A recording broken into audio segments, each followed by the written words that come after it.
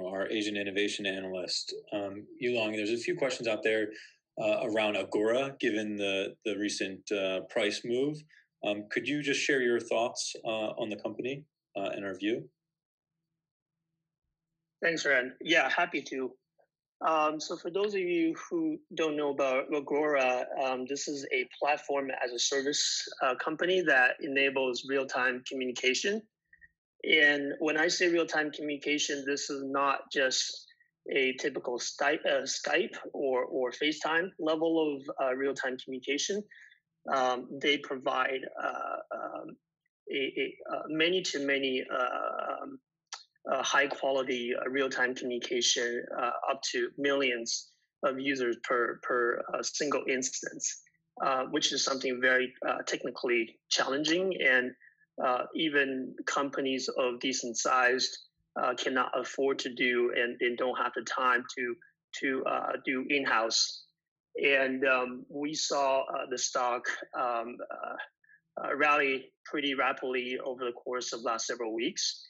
Um, and I would say there, there are two main reasons that, that are attributable to this uh, uh, this rise. Um, the in, in mid January, um, you know, in China. Also, by the way, this company uh, is based in China, and roughly seventy five percent revenues uh, uh, is currently generated from China.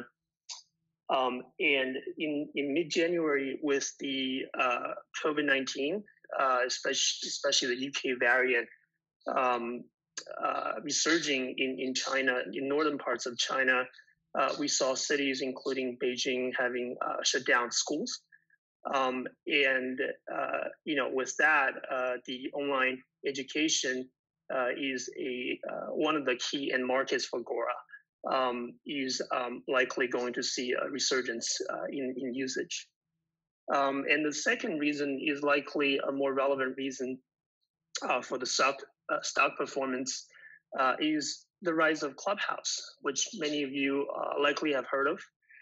Um, the uh, so Agora is notorious for uh, you know being the enabler of Clubhouse's um, real-time engagement solution um, and is literally built within a single week uh, during the beta stage. And um, you know the, the company has uh, is, is invite only uh, currently still, and throughout last year, um, the data we saw were you know in the tens of thousands of users uh, throughout the end of the year, and in the past months it has grown like a hockey stick going to uh, the last number I saw is around 3 million. Um, and if you do a simple math of taking the list price of 99 cents per thousand minutes, which is the, the, the list price that Agora charges its customers, um, and you kind of map out this growth trajectory for, for Clubhouse, um, it's not very difficult to get to a, uh, uh a very sizable revenue growth on a run rate basis for, for this year, which is not currently baked into the uh, consensus numbers.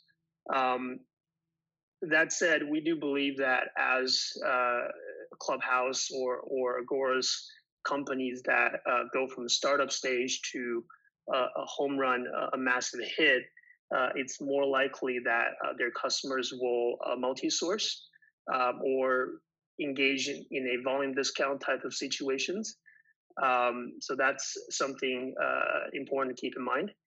Um, but overall, in terms of a long-term prospect of the company, um, we think Agora is a very interesting way, a platform agnostic way to play this virtualization uh, theme that we have um, in terms of metaverse, in terms of uh, more uh, activities done virtually. Um, and uh, yeah, with that, I will turn it back to Ren. So what, I'll just add one thing there, Ren uh, and uh, Yulong. It is really interesting to see uh, the, the, Chinese um, uh, develop this platform technology more effectively because Zoom is the same thing that was developed in China. So Zoom and and Agora both uh, as we um, as we face these virtualization chal- challenges and opportunities. So uh, they definitely have uh, they definitely have some core DNA there to to um, to offer us.